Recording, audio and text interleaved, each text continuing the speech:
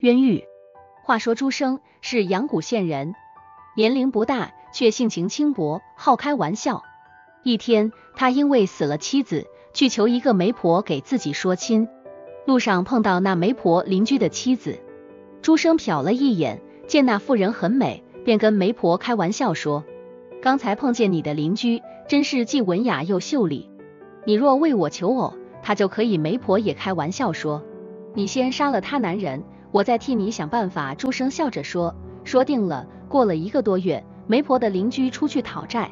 被人杀死在野外，县令居拿了死者的邻居和地保，拷问实情，却仍无头绪。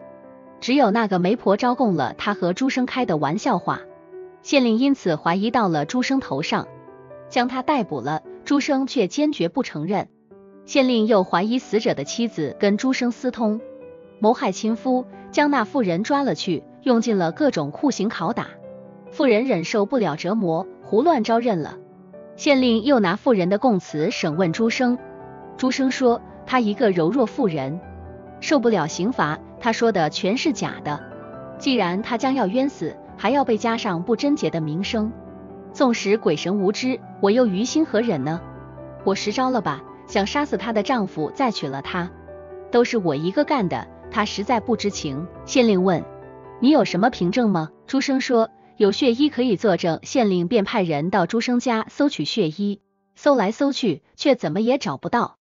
县令再次拷打朱生，打得他几次死去活来。朱生便说：“这是我母亲不忍拿出物证来让我去死，等我自己去取。”县令命衙役押着他回到家中。朱生告诉母亲说：“给我血衣，我是死；不给我也是死，反正都是死，还不如快点死去。”也免得多受折磨。他母亲听了，哭着进了内室。不一会儿，取出一件衣服来交给他。县令检查到衣服上确有血迹，人证物证俱在，便判了朱生死刑。以后经两次复审，也都没有不同的证词。过了一年多，朱生马上就要被处决了。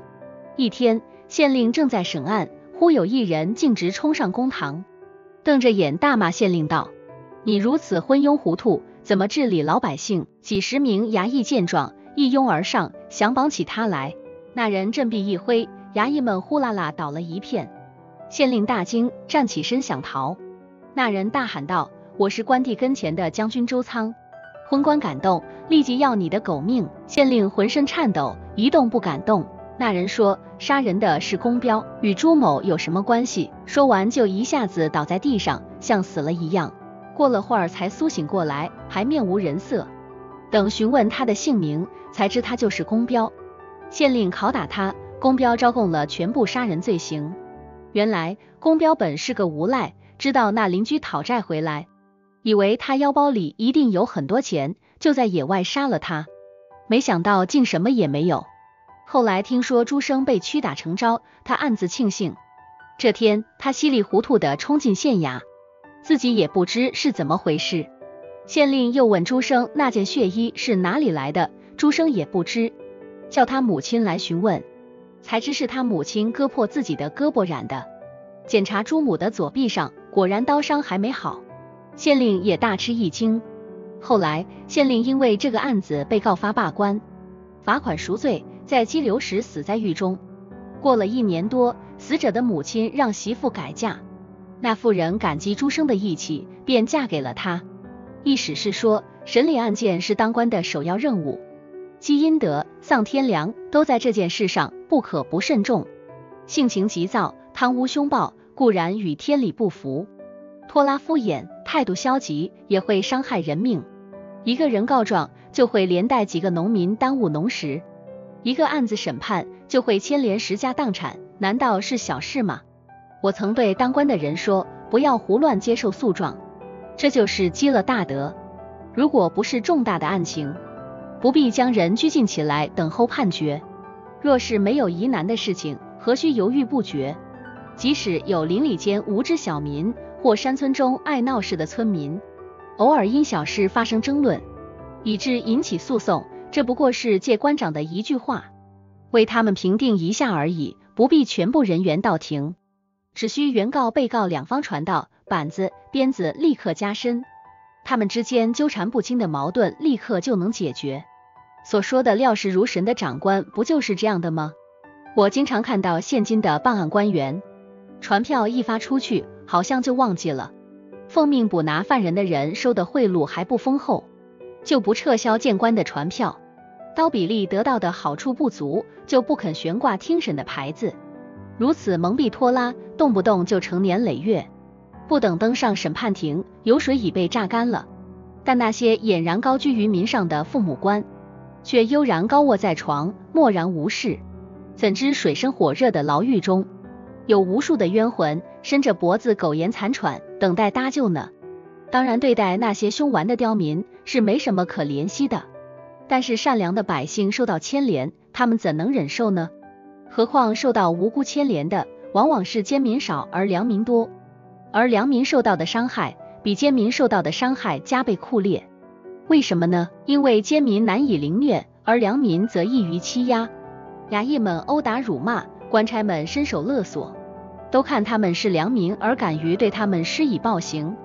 这些良民一进官府大门，如同进入火海，早一天结案，就早一天安生。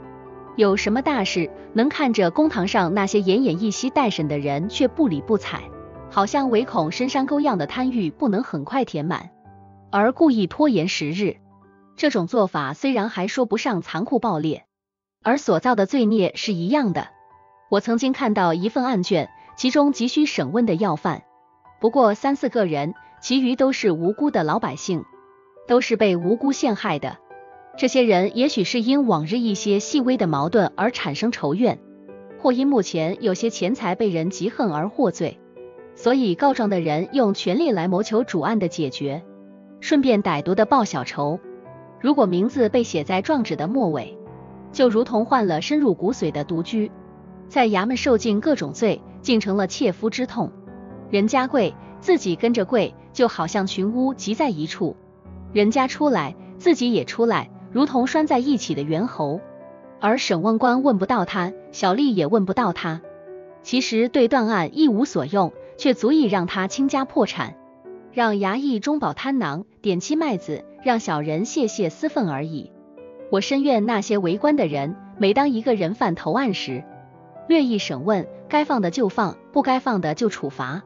这样做只不过是用笔蘸蘸墨，动动手腕的事，却保全了多少人的身家性命，培养了多少正气。执政官员从来没有考虑过这个问题。其实哪里只有绳索刀具能够杀人害人呢？好了，这个故事就讲完了。如果喜欢就点个赞吧，谢谢。